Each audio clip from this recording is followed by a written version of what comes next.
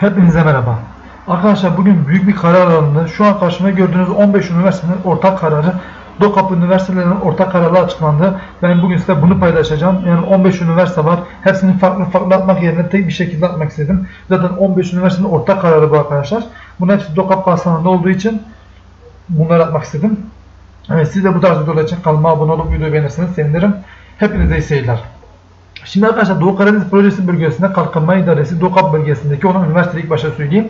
Amasya Üniversitesi, Artvin Çoruh Üniversitesi, Avrasya Üniversitesi, Bayburt Üniversitesi, Giresun Üniversitesi, Gümüşhane Üniversitesi, Hitit Üniversitesi, Karadeniz Teknik Üniversitesi, 19 Mayıs Üniversitesi, Ordu Üniversitesi, Recep Tayyip Erdoğan Üniversitesi, e, Samsun Üniversitesi, Sinop Üniversitesi, Tokat Gazi Osman Paşa ve Trabzon Üniversiteleri rektörleri 2020-2021 akademik yılı güz yarı yılı birinci dönem için arkadaşlar eğitim öğretim süreciyle ilgili video konferans yönetimi toplantı düzenlediler. Ve düzenlenen toplantıda Yüksek Öğretim Kurulu'nun küresel salgında yeni normalleşme rehberi, Sağlık Bakanlığı görüş, görüşleri, pandeminin ülkemizdeki geldiği son durum, öğrencinin seyahate, konaklama, sosyal koşullar ve sürdürülebilir eğitim öğretim süreçleri gibi birçok faktörle bunların salgının yayılması üzerine etkisi detaylı olarak değerlendirilmiş ve güz yarı yılı eğitim öğretim büyük oranda dijital imkanlar kullanarak uzaktan eğitim yönteminde yapılmasına.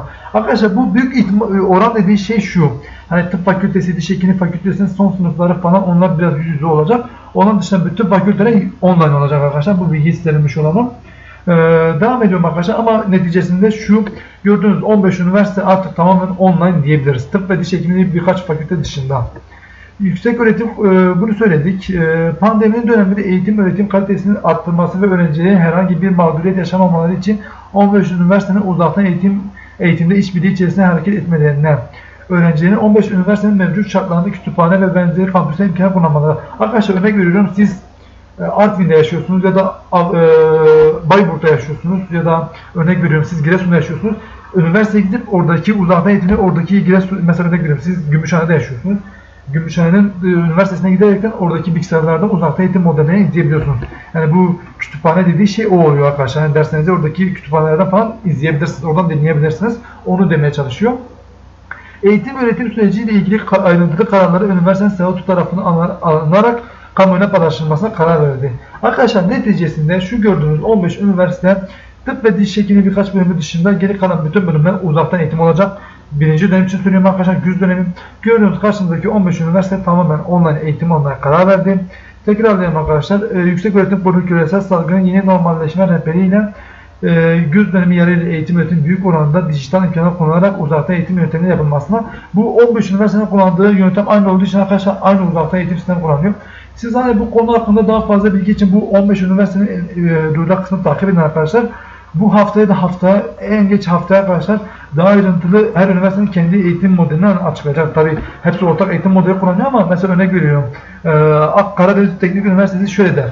Ben e, der ki ben tıpları getiriyorum ya da Artvin Çoruh Üniversitesi der ki ben tıpları getirmiyorum. Avrasya Üniversitesi der ki ben tamamen online yapıyorum ya da e, Gümüşhane Üniversitesi der ki ben tıpçılar ve dişlerine gelmesini istiyorum. Bu üniversite üniversite bu eğitim modeli farklılıktır.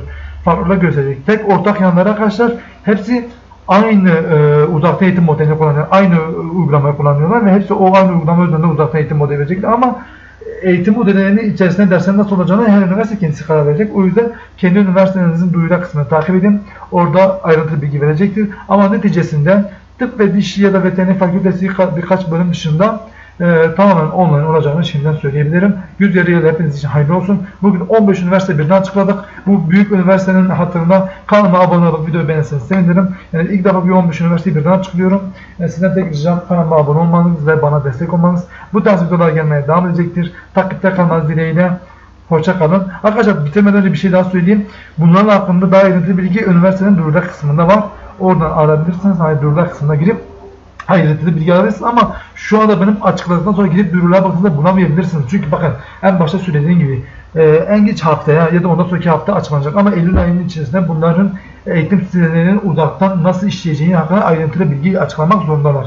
Bugün karar alındı. Bugün açıklayabilirler, yarın da açıklayabilirler, ondan sonraki gün de açıklayabilirler ama artık yavaş yavaş hepsi açıklayacaktır nasıl e, uzakta eğitimi nasıl işleyeceğini ama bildiğimiz tek bir şey var. Şu gördüğünüz 15 üniversite şurada yazdığı gibi derslerin %95'i %98'i uzaktan olacak şekilde ayarlanmıştır.